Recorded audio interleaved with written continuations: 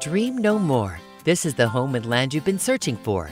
The classic mountain lodge style home, complete with a covered front porch, metal roof, and log accents.